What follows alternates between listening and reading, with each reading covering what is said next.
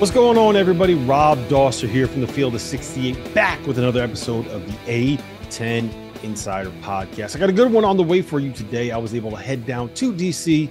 Uh, I sat with George Mason head coach Kim English uh, in Fairfax for about 45 minutes last week.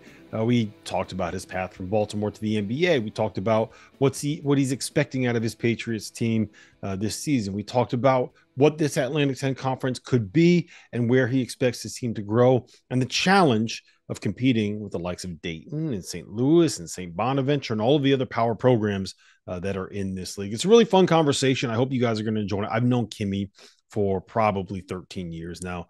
Uh, you know, he's he's younger than me, but he's one of the guys I think that I know the best in the coaching ranks. So I'm excited to share this conversation with you. Before we do a couple programming notes, uh, as always, I just want to let you guys know that the almanac it's still available. We still have two weeks before the start of the season. Even when the season starts, we have about five or six days before the games really get going. Uh, so if you want to be the most prepared that you can possibly be for college basketball this season, make sure that you pick up your copy. It is $19.99 for a digital subscription. Find it in the link below. I also got to pimp out the daily for you. Uh, it is the Field of 68 newsletter. It comes to you every morning in your inbox, 8:30 a.m. The best way for you to get prepared and stay up to date on all the happenings in college basketball by subscribing to the daily. Um, and I also want to let you guys know we do have a merch store, field of 68.shop. Go check it out. You use the promo code touchdown, you get 20% off your first purchase there. So now that that's out of the way, let's get into this conversation with George Mason head coach, Kim English. And now let me welcome on to the A10 Insider podcast, the one and only George Mason head coach, Kim English, who is now the third youngest head coach in the country. Thanks, Drew Valentine. How you doing, man? Um, I'm good, man. How you doing? I'm doing great. Thanks for inviting me here. This is you a great little setup you guys got here. Yeah, it's nice. It's nice. We got good, uh, good locker room for sure. So, first time we actually met, I'm going to tell this story. First time we actually met, 2012. I was working for a website that I own called Ballin' is a Habit. Do you remember this? Had to be like 2010.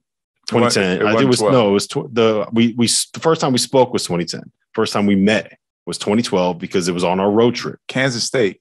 It was Kansas, uh, Baylor. Baylor was playing at Missouri, Oh, okay. and I couldn't get in Okay, touch good, good, with the. SID. Okay. Right? Yeah. Couldn't get in touch with the SID, so I just sent you a message on Twitter, a DM on Twitter. I Yeah. said, "Hey, Kimmy, uh, it was the day before. We're Mhm. literally driving from Madison, Wisconsin, down to Columbia, Missouri." We could find it. and I sent you a DM and I Yeah. said, I said, Kimmy, I need help. I can't get in. Like, I can't get anyone to respond to me. Can you help me get a ticket? And you were like, I got you. David Ryder didn't respond. Yeah. Didn't respond. And we ended up getting, uh, you got us credentials. We got Yeah. in.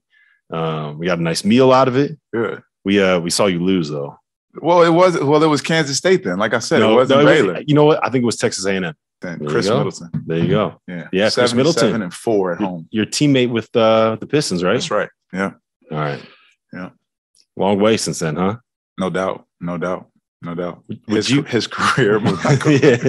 different. well, I- we'll, we'll we'll talk about that a little bit. I do want to talk about your NBA career, but Yeah.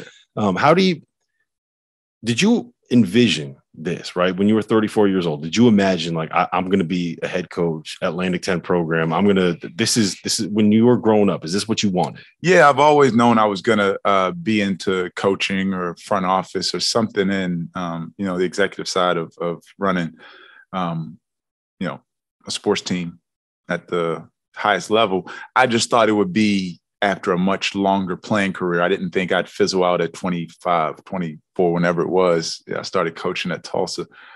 Um, but my I was obsessed about the NBA um, as a player and got to the NBA and had a a cup of coffee one year with Detroit, a training camp with Chicago, and I got overseas, and it just it wasn't for me as far as a growth mindset, um, the learning curve, um, you know, the excitement around the game.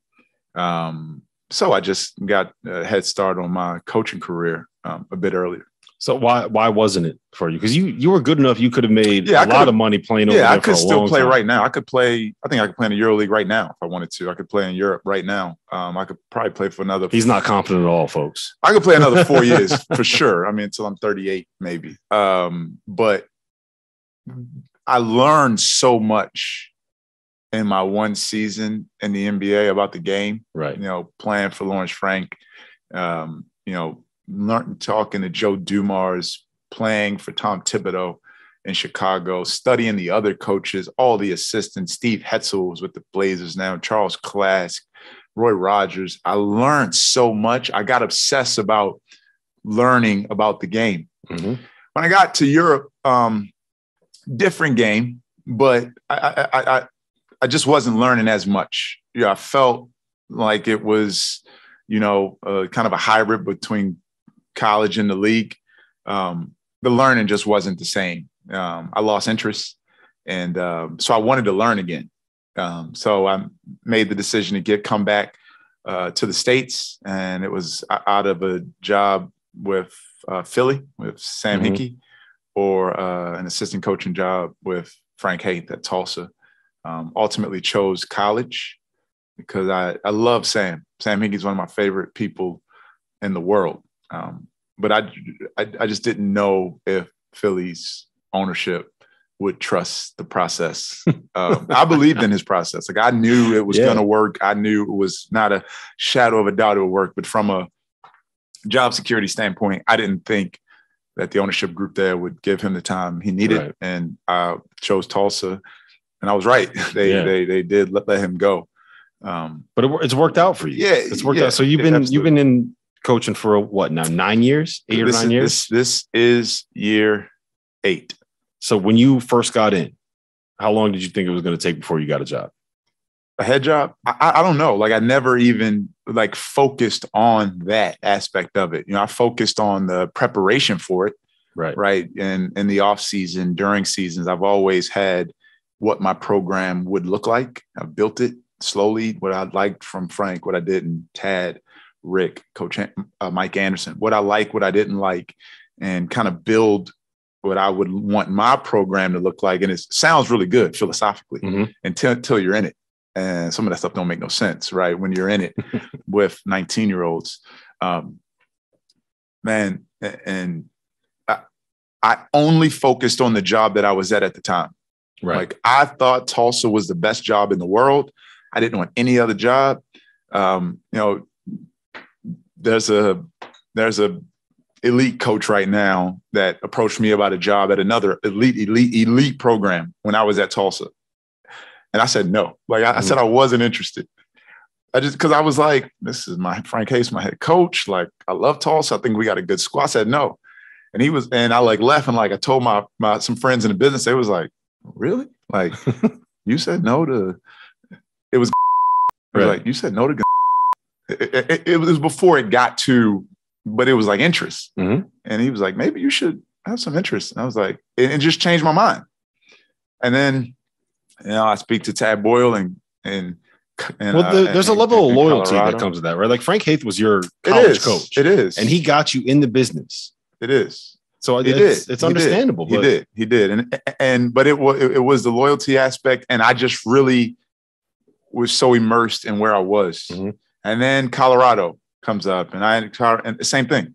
Like Tad Boyle, if you if if if a kid looked at Tad Boyle in his eyes and, and said he was choosing Kentucky or Duke, Tad Boyle would look at him like you're a fool. Like you have a chance to come to Boulder, Colorado. Tad Boyle thinks the University of Colorado is the best job in the country, and like that's his strength. It, it, it helps him in recruiting. It helps him in player development, in game planning, and everything you know, because it's in fundraising, you feel the conviction. But mm-hmm. I was at Colorado, you know, could have left for a few places, no interest in leaving. Like, you know, until uh, my relationship with Mike Schwartz, um, Coach Barnes, mm-hmm. um, had a history. It was like family took me to to UT and and and now here. So you're 34 years old.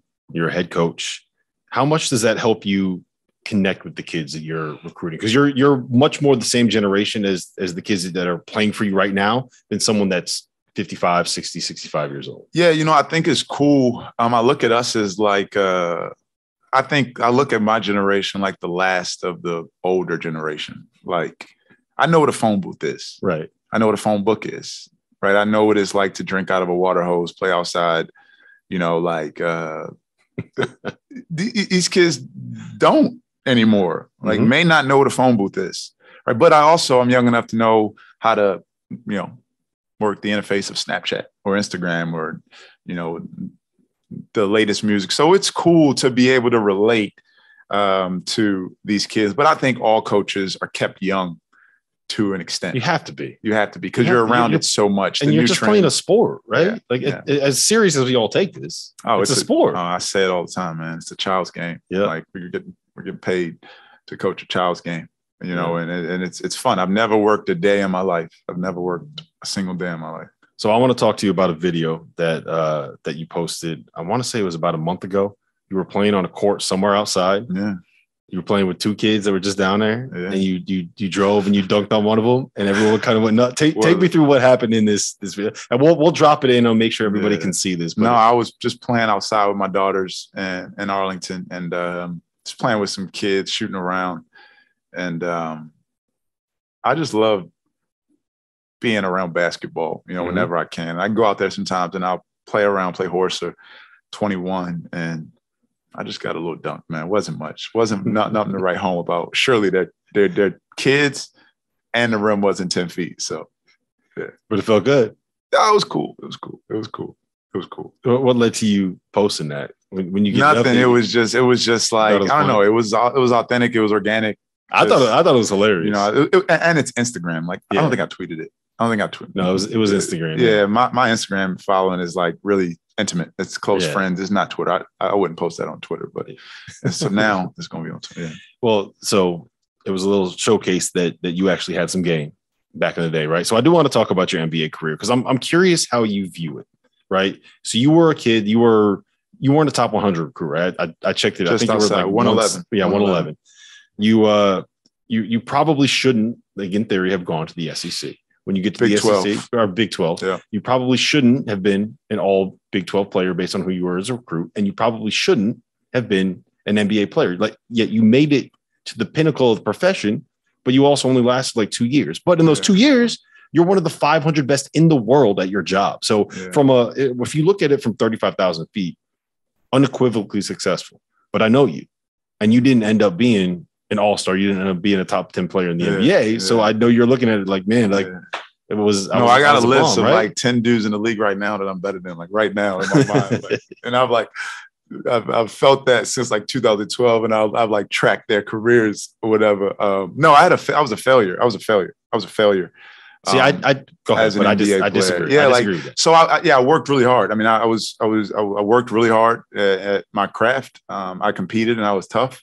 Um, you know, I had good size. I could shoot. So, you know, I had a skill. I worked really hard. I, I was competitive. We won. Um, I think when you do all those things, you'll have a chance, Mhm. you know, and right. So yeah, you say you're one of the best 450 in the world when you make a roster, but truthfully, the last 150 guys in the NBA, you could swap those guys out for about 200 guys in Europe. Mhm. It's circumstantial. It's, it's right fit, right, right amount of right fit, right Yeah. time, salary. Like it's so many everything. things. So that there's a humility of it all to know that. I mean, I- okay, like you know, Cory Higgins has played in the NBA, but Cory Higgins Mhm. is making a ton of money. He could be in the NBA right now. Like there's a ton of players. Um, but no, I didn't make it. I, I, I didn't work as hard uh, when I got to the league as the at the level of the obsession I had at Missouri. I was obsessed at Missouri. Um, was in the gym every night, you know, working on my game, dedicated, dialed in, locked in, you know, because my dream was to get to the NBA. It was to get, get, get, get, Mhm. get, GET, get. Um, and that was the wrong dream. Like my dream should have been to try to to be a Hall of Famer. Right. It should have been to be an all star, to win multiple championships, to be one of the 75 greatest. Like that should have been my dream. And then getting drafted is like just another day. You get right back to work, you work hard. It's a rung on the It ladder. where shows you need just you go, keep right? going, you Yeah. keep going. And even if the likelihood of me becoming an NBA Hall of Famer was very low, the likelihood of me becoming a top 75 player was very low. But if that was my mindset, you think that that drive would have maybe made me miss better. Mhm. Right. I I hit my aim. I hit my target of getting to the NBA. If my target was top 75 Hall of Famer, my miss might have been five years. Right. It might have been uh, uh, Justin, I think his name is Justin Holiday's career, Yeah. right? Or Gary might have gotten another- career. It might you got it, got yeah, yeah. for sure, maybe. Yeah. See, I the way that I look at it is once you once you get there, You're nothing. There's no. Oh. there's no more qualification. Starts all there, over. You're yeah, back you're- at you're- the bottom. But you're, you it's, it's 100%. it's it's a success. Uh, the story is a success uh, if you get there, yeah. right? Because it's so hard to get there, Yeah. and once you get there, Start then all you start everything over. I wish someone told me that. yeah, but you I gotta you gotta look at it in the context Yeah. of you've made it to something that that only 500 people at a time are able to do. Yeah. Yeah. No, doubt. I wish someone had told me that. Yeah. So when when you look back now and you're talking to some of these these kids that have that same goal and that same dream that you have, even if it's just to get there, not to be Hall of Yeah. Famer, not to be Kobe, but to to get there, what do you tell them? What kind of advice do you? Do you Well, I don't even talk about it unless I see the other things in you first. Like you got to be obsessed. You got to be borderline crazy. You know, you Mhm. got to be crazy, either crazy talented, crazy talented, like a freak of nature. Like it's like it's like 20 of those guys. Yeah. 25 of those guys, maybe. You got to be Giannis or LeBron, basically. Giannis, LeBron, KD, Steph Curry, they're freaks. Like Mhm. don't emulate them. Don't try to be like them. Don't watch their game. They're aliens. Like they are aliens. Victor Wembanyama, Alien. Yeah. Alien. Can I talk about him? Is he a prospect? Is he a college prospect? No, he's not. Right. No, I can not. talk about He's him. gone. so so it's like you got to be that's in another cate- category that's Mhm. another stratosphere everyone else that's in the nba they're mortals but they're different in the way they work the way they train the way them carry they, they carry themselves the way they compete in their how tough they are and how their one elite skill set is Yeah. you know and, and so if you see that you know i had devin dinkins our point guard today after practice i'm talking to him about to be a little guard, you got to be crazy, man. You got to be crazy. And uh, I put him on the phone with Phil Pressey this morning, McKinley Wright this morning, Will Bynum. Like I'm just talking to, and I'm letting him talk to these little NBA guards about what it's like to get there. How do you get there? What do you got to be? And McKinley Wright's on the bus flying from Phoenix back to Dallas to play Memphis tomorrow whenever they play. And McKinley's, you know, DNP last night. He's on a two way with Dallas. Great player at Colorado. He's like, man, it's hard, man. He's like, you, you, you, you, you, you got to be a, a MF. You got to be, you got, you got, you got to be, you got to be different, right? You got to be incredibly tough. What's the saying? You got to have that dog in you. You got to have, you got to, you got to be a killer. You got to have Mhm. that dog. You got to. Rick Barnes to say about Keon Johnson and Jaden Springer. Springer, he said they'll bite you. they'll bite you, and like they, they might, they might. Like to be an NBA little guard fighting over a ball screen. If you're getting posted up, you got to be willing to bite somebody. You got to be crazy, um, incredibly tough, right? You gotta, you got to be wicked smart. You got to know everything. You got to see everything. You got to know every read. Mhm. Um, uh, um, you, you, McKinley said you can't turn the ball over. Like you cannot turn the ball over. And then you got to be able to jump really high or shoot really good, right? Carson Edwards or Nate Robinson, Yep. right? Like just to have a chance, you know. So that's the other stuff, you know. That's and you can do that for every position all the way down, one through five, um, if you're not counting the aliens. Right. But the work ethic is the is the Yeah. biggest thing. It's the Yeah, biggest thing. Yeah, because the, the level of skill for NBA play, it's if you go and watch an NBA game and then come back and watch like the best college Ugh. basketball game, the, the Ugh. difference, the difference in ability, it's it's Ugh. night and day. You're not watching. I say this all the time. You're not watching college basketball because you want to see the best basketball. That you, you're No. watching for the environment. Yeah. You're watching because you love your school. yeah. You're watching because you're invested in a team for some reason. You're watching because there's always some kind of crazy storyline. If you want to watch the best basketball players, go go put on a bad NBA game. not even not even close. The, the, Yeah. the skill level, the talents, the talent, um, you know, passing and catching, uh, they do a lot better than, than our That's how I know it's an early practice for you when you're sitting here like, yeah, we, we need to work on passing and catching. No, man, I'm telling you, man. Like NBA guys can really pass, and can really catch, like, and they can really shoot. Mhm. You know, and the passing. I mean, don't don't overstate passing, man. It is it is so important, and Yeah. those guys do it at elite level. Yep. Khris Middleton.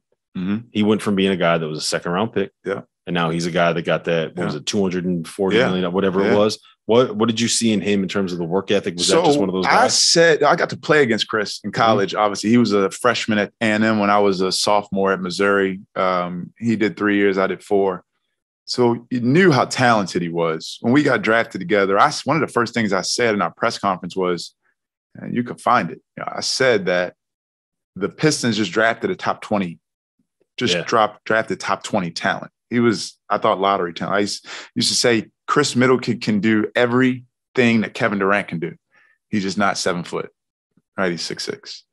Um, but what I do remember about him was uh, one, I was a six man our first game at eight points against the Rockets. He didn't play. He didn't play for like the first two weeks of the season. Um, I had you don't you don't hold, hold that over his head at all. no, no, no. He's a better player. He's a better player. No, he's always been way more talented. I'm not super talented. Like I, I worked hard. I could shoot. I played hard. I, I wasn't. I'm not super talented. Um, Khris is talented. Right. No talent, just abound. Um, I had the better summer league, much better summer league. Like not even close. I averaged like I think 18 points, like six rebounds. I much better. He was not good summer league. He wasn't good in camp. Um, but his agent, whoever his agent is, didn't settle for what Detroit was offering. You know, Detroit offered he and I both one year guaranteed, second year team option. Um, and I signed it right away. Like, absolutely. I'm in. Let's go. Come on, let's do it. One year, baby. Boom. Khris, eh, he Khris held out. He wasn't in Detroit training for like a few weeks. His agent made sure he got two plus one. Mhm. And he did. He was picked five picks higher than me, 39. Um, he was picked number 39. I was 44. He got two years right off the bat. He got a two plus one. So after the season, if you're on a bad team and you have an expiring contract, they get rid of it, right? They they they get off of it if they can. It helps the GM look a little better, like look Mhm. like we're making changes. I averaged 2.9 points a game. They cut me. They they signed an Italian dude named Luigi Datome. He comes in, you know how much he averaged for Detroit? 2.9 points. Like it, it was, but it looked good. It looked like you're doing something. Um, but Khris, they get off Khris. They get rid of, they trade Khris Middleton. The only reason they traded him and didn't cut him was because he had another year. They traded Khris Middleton, Brandon Knight, and Slava Kravtsov. They trade them to Milwaukee for Brandon Jennings. Worked out pretty well for Milwaukee. Worked out really well for Milwaukee. Right. And that little small thing, the agent fighting for that little bit more, one year more, maybe, maybe, maybe Khris gets cut and someone else picks him up, you know, and, and it still goes the same. But that fight at the front end of his career maybe led to what he is today and the rest The, of his. the agent earned his four percent. Absolutely, he did. You know, that's All a cool story. So talking about NBA, Josh Oduro, your star center. Like I don't even know if I want to call him a center. You call him a center? Yeah, we call him whatever you want. Yeah. He's not offended. Star big guy, Yeah. big fella. Yeah. Uh, went through the process. Yeah. Right. And came back to school. Yeah. Um, one, what did you kind of what did what was the feedback you got? And two, as the coach of his college team, how do you balance developing a guy for the next level when it may not be the same role that you need him to play at this level? You know what I'm saying? I think great and open dialogue. You know, if you look at Josh and I's phone text conversation, it's always me sending him videos that I'm watching a practice. I sent him a clip last night of Porzingis uh, making a play that we need him to make more. Uh, you know, it's showing him how it relates, telling him exactly what it needs to be, and if he can do it, I don't care what the skill set is. If he can Mhm. get it done, it will help your college team. Like, Right. like you know, we don't want you know, Josh is very dominant inside, but for him to make it to the next level, he's going to have to guard on the perimeter and be able to stretch the floor. If he does those two things for us, like, that's really, really good. Right. So we're going to work on it. We're going to build it, but just know where your strengths are now, where your bread is butter right now. But no, we're in this together to develop you to help you get there. Um, you know, so it's good enough for the next level. But um, the process with him was it was it was different. It was it was very uh, specific. I, Josh was not a draft pick this year, Right. and we all knew it. Uh, what was best for Josh Oduro and for our team, truthfully, what sorry, not what was best for Josh. Probably it. In my opinion, after we lost to Fordham in the A10 tournament, what was best for Josh Oduro was to take time off. We, and I hate to use hyperbole, but we rode him. We rode him hard. His usage was through the roof. We weren't an incredibly deep team. We weren't an incredibly talented team last year. We rode him. He had a heavy load. I mean, he had a concussion last season. He had knee and he had, a, you know, COVID. He had to sit down. You know, tendonitis flare back up during his COVID uh, time off. Uh, uh, he had a long season Right. and he gave us everything. He truthfully, what was best for our program and was for him to forget about the NBA draft, just worry about recovering from this very long season, grueling season. Um, but I think what was best for him in the long term was for him to go through the process now. He had to work out, he had to go through the, the spring training process. He had a workout for uh, an NBA team. Uh, he got great feedback. He came back with us in the summer. What in my mindset was, I know how integral it was for me to go through the draft process as a junior and how much it prepared me for my senior year. My junior year, I was not an NBA player. I had terrible workouts. I was overwhelmed. I played poorly. I, the balls felt different. The game was fast. It was it was like this when I did the process my first time. When I went through the process my second time, it was like you knew what was coming. I knew exactly what was coming. I knew exactly. I knew the way the balls felt. I knew the way the workouts went. I knew what to wear. I knew the questions they'd ask. I knew every. I, I, I was so comfortable in the process. I was thinking about that with Josh. What was best for Josh as he's a, you know, I knew he wasn't getting drafted. I, you can call all 30 teams and get mm-hmm. that answer, right? Where, where is he? Who? Right? Or whatever, you know, or, or he's late, late to undraft. But I thought what was best for him in the future was to get that experience, get those jitters out now so that the next next spring, when he's in those workouts, he's he's more comfortable. Right. So now that you got him back, NIL's a thing, obviously. Yeah. He's got some NIL deals. Yeah. Um, you are young enough where I know that you how you feel about players getting paid and how you feel about that, right? Uh, I also think it's interesting that you have all of what like three months of head coaching experience where NIL wasn't a thing and wasn't legal. So how uh, you're the new normal when it comes yeah. to what college basketball is going to end up being yeah. as a coach, right? Yeah, is that fair to say? Yeah, it's level, it's levels, right? right. What's happening around the country as mm-hmm. far as deals and collectives and universe. I mean, like Tennessee hire Inspire or you know we have a collective most places have a collective guys getting the stuff on their own. Um, it's just you know we're doing it the right way. It's it's it's truly nil for our players. Mm-hmm. it's it's not you know it's it's not it's not pay for play. It's not right now at george mason. And i love that. I love that it's legitimate. Our guys have a player ran collective. Our guys are all they all sit on the board of our collective every domestic born per person that wears a jersey on our team gets NIL money. Um, our fans can participate in it. Local businesses do a great job. George Mason, in my opinion, is the most important thing to, uh, you know, you know, putting into this economy that is Northern Virginia. I don't know what the, the figure is. Six hundred million dollars.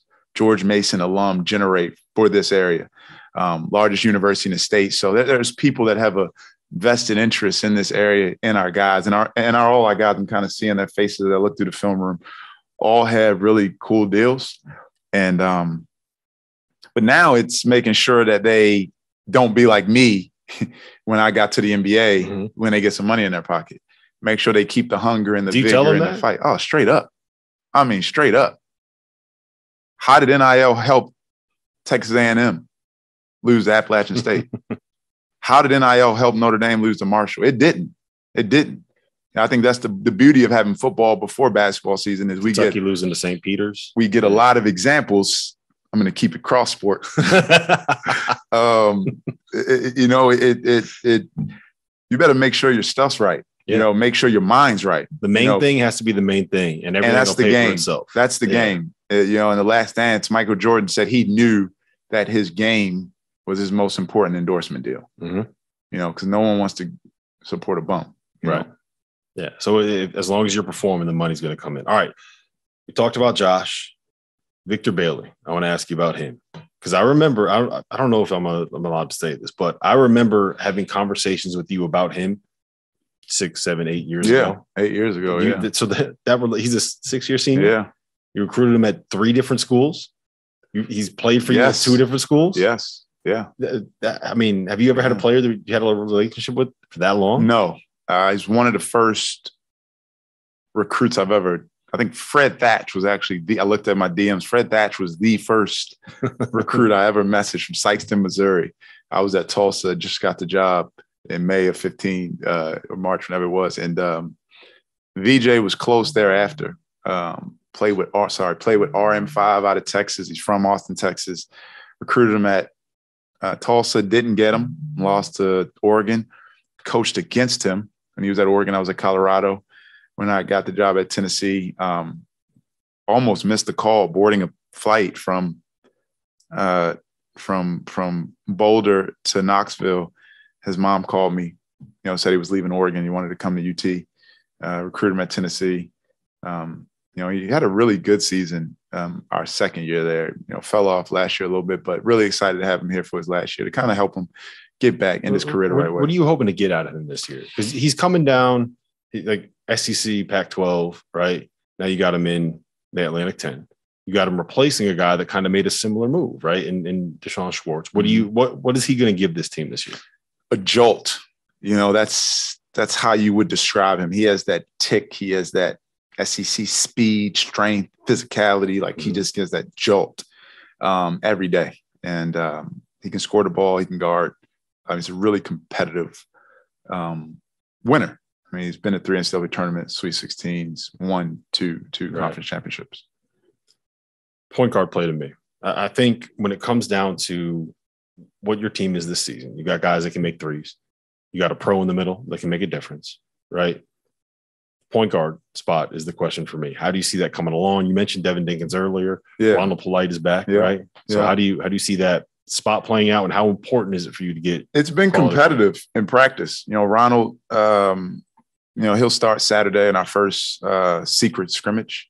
Um, he's been great in moments. Uh, Devin Dinkins has been great in moments. Saquon Singleton has been great in moments. Saquon has really been uh, coming on here of late. They'll all play the position. Um, you know, Ronald's getting the first crack at, at the starting spot in our scrimmage on Saturday, and um, it's still a competition. You Mhm. know, it's still a competition, and it's uh, it's good. It's good to have. We didn't have that uh, last season, you know, and I think that was that was to our detriment. You know, the lack of depth in competing for minutes, the lack of depth and ability to have iron sharpen iron in in, in training camp and practices, um, and lastly, obviously in games, I had to let some bad stuff slide because it was from my best players. I don't want to do that. Like this year, VJ, Josh, Coop, Ticket, anyone, you know, if they're falling below our standard, um, especially defensively, Yeah, They're you coming know if you mess up, you're getting you're getting you're coming out. The bench is the best teacher. You're coming out. Mhm. Couldn't do that last. Had to let a lot of stuff slide. Um, so I'm really excited to coach with that type of depth. All right. There's one thing that has to happen for your team this year for you guys to be able to win the A10. What is Hmm. that one thing? Wow. I mean, You got a guard. You got yeah, I mean, that's so tough. over. I mean, I, I couldn't even answer that to be a question. I mean, St. Louis, Dayton are really good. I mean, it's going to be a battle. I think this year. Who knows what Loyola is going to be? The- for I mean, the league is going to be It's a- really, really good at the I top. think it's a really, Really really, good really, at the top. good league. Um, I think it's a really good And league. I think the tough part about it is you look at some of the teams at the bottom of the league too. Like Fordham is getting better, right? Yeah, UMass Fordham. brought in Frank Martin. Yeah. Rhode Island brought Yeah. in Archie. Like there's Yeah, there's yeah. I mean, good Fran at the bottom. Dunphy is at you know LaSalle. Like I'll Fran will forget more than I'll ever know about you know uh, basketball. He's brilliant. Um, seen it so much. So yeah, no, it's I, I can't answer that question. I don't know. Maybe um, no, I can't answer that question. You know, it's a lot. It's not. It's not one thing. It's it's, it's not one thing. You know, in, in in this league, you have to, you know, you have to to take care of the ball and make shots. You know, you you you have to defend and rebound. You know, and and the contrasting in styles in this league. You have to play a lot of different ways because the teams make you. You know, you can be preparing to play against Princeton, against Richmond, yeah. You and make then- that Richmond trip, you're going to go up against Richmond. They play the one next way. day, Yeah. You know, so it's uh, you know, Mark Schmidt with an incredible coach, sustained success, you know, ton of really, really, really good sets that his guys know. N- completely new group of guys, you know, that that these guys have to learn, you know. Mm-hmm. So really excited about the league. Yeah, it'll be a fun league. It's going to be a fun one to watch. I'm excited to uh to be around it this year. I have two more questions for you. Yeah. All right, big picture. We're going to introduce the world to Kimmy English. What is the uh you, you've overcome a lot, right? What is the biggest adversity, the biggest step that you've overcome in your life to get where you are? Um, is it getting rid of the Baltimore accent? No, man. uh, it's uh, you know what? Yeah, no, I, I have a speech impediment. I stutter. I stutter right now. I have a stutter. Um, I've gained control of it. I remember, man, when I first when I was playing, it was one thing. You know, you can you're it's not much. I shouldn't say there's not much thinking and playing, but there's a lot of reacting. It's your it's reactions. It's it's pictures that you've seen a million times that you're just negotiating and navigating through. When I got into coaching and knowing that I'm someone that has a stutter, I mean, I was like sleepless nights. I never forget uh, at Tulsa my first year. I did uh, the personnel. I did the personnel for every game. Dennis Felton, who's with me now, he presented to the team, and he did all defense, but he had to go recruiting, and I was the only one that knew UConn's personnel. Mm-hmm. And he like springs it on his late night in a text. Hey, I won't be there tomorrow. Kim, you got this was going to be my first time presenting to the team in a film room like this, and I'm sitting in the back, and I'm like, I'm gonna stutter so bad, and I'm like, man, I and I do. And we're doing, and I'm stuttering. The guys are laughing. It's my first time ever. Like, if you don't stutter, like you know, if I let some of our GAs run a drill or something, get that frog in your voice your first time talking to a group. Yeah. It's, it's, like a nervousness. Yeah, it's a, a nervousness yeah. if you don't stutter. So I had that first time coach nervousness plus a stutter. So it was just like, like it was the worst thing ever after film, everyone's laughing. Frank Haith saved me. Frank Haith, like we got, we were at like uh I can't think of this UConn, maybe Ryan Boatright, and he like stops me and he he does the rest of the just reading off of my notes. Um, but you get a little bit better. And then getting on the court for the first time, you get a little bit better. And for me, my stuttering, it's it's it has a lot to do with confidence. You know, how confident I am in what I'm saying. You know, I don't speak unless I have conviction about the topic, right. unless I have some sort of knowledge. I don't I won't say anything if I don't know. So it, it forced me to study the game more, learn the game more, dive into things more because when I did that, I felt like what I was saying was important. And I'm trying to help you with what I'm trying to say. Like I'm trying to give you something as a player. Um, so that kind of gave me the confidence well, I'll, settling. I'll tell you this: I I knew that you had a stutter, mm. and I'd never noticed it before in any of the conversations that we've had. And I think it's impressive that you can look back at situations like that and laugh at it now. Oh yeah. How long did it take you to get to the point where like now it's stuff yeah. like that is, is funny? Yeah, I mean, I still stutter and it happens in but our guys know. Like guys know Kim stutters. Like if I do get caught up on a word, they know I'm the master of um like a what's it what's not a dictionary what's it called? Where it's not a what's what's the word where it's like you get another word like antonyms the, the, thesaurus yeah. I'm, I'm, the king of ant- synonym synonym or antonym synonym. Yeah same thing yeah. Wait they're different. Syn- synonym, synonym, is the same. yeah, yeah, yeah. antonym is opposite yeah. The, yeah right? the thesaurus yeah the yeah. thesaurus I'm the king of like synonyms. And I feel I control my stuff. I feel when it's something about to, a stutter is coming, mm-hmm. I can flip a word like that it means the exact same thing. And I'll just avoid the stuttering word, the consonant, even if it's C's, I'll go with J's or H's or whatever. Um, so it's a lot going on in this brain. But uh, yeah. no, yeah, no, I still stutter. It's a lot less. I have control over it. I help stutterers all over. I, I help stutterers in the media, players. Um, they're like, it's like an army of stutterers all over the mm-hmm. country. Um, and I check on them. You know, uh, the kid, Parker Stewart, uh, he has a speech impediment. It's a kid in New Mexico right now, and some coaches, people in the media that I try to help with their speech impediment. All right. So this is the last one I got for you. The one thing right now, knowing what you know, that you could tell your younger self. Man, uh, be humble. Be humble. Be humble. Be humble. Be humble. Be humble. Be humble. Um, it's it's everything. Humility is everything. It's one of our core values. You, know, you see, it's at the end. You guys get that illity, illity, and that's humility. Um, in all moments, in all times, you know, you know, just just just, and, and it's not thinking less of yourself. It's thinking of yourself less. It's constantly thinking, how can I be better? Um, so just really, really, really dig in my roots in that because it's human nature. Mm-hmm. You know, it's it's human nature to think you're really good, to think you got something figured out, you know, but you're not.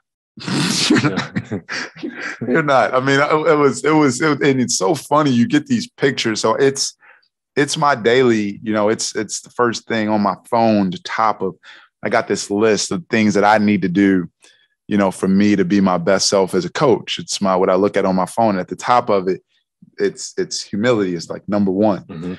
And you feel it coming as a coach and your players. Like it is everything in coaching to keep guys humble, right? When success happens. We beat Maryland last year. I literally get to the locker room and I open my phone and I delete the Twitter app and I delete the Instagram app. Like app. Like the first thing I did, I was like, I don't even want to see what's happening right now in this area. Like I don't even want to see it. Get on the bus, watch the game quickly, move on to James Madison. Like, guys, move on, man. Like, what's next? Like James Madison's the most important thing in the world right now. Like we 4 0, three straight 20 point wins, go win on the Big Ten road, top 20. We lose the next five, we lose the next five games. Like But it was a wake up call, right? humility, humility, man. Does, humility. does stuff like that help in the long term? I, oh, oh yeah, oh yeah, oh yeah. No, our guys know. I have I have moments from practice, games, everything. Still, they're like, coach. The guys are like. Uh, receipts, huh? the other day, I was on the phone with Dion Lee out of Louisville, and he's he's Davon Cooper's guy, and we were talking. He said, "Hey, you think Coop can uh, play some at the one for you this year?" Oh, hey, man, last time he was at the one was at LaSalle. He got picked for like those things are, and he's like, man, that's old. They go. But those things are always there. And we have a saying in our program you are one of two things in life you're humble or you're about to be. like, that's it. I like you know, that. so yeah, I like that. Well, after this podcast and how many times I messed up, I think I am about to be very humble. no. Kim English, Thanks, man. Appreciate George Mason, head coach. Fairfax. It's been the A10 Insider Podcast.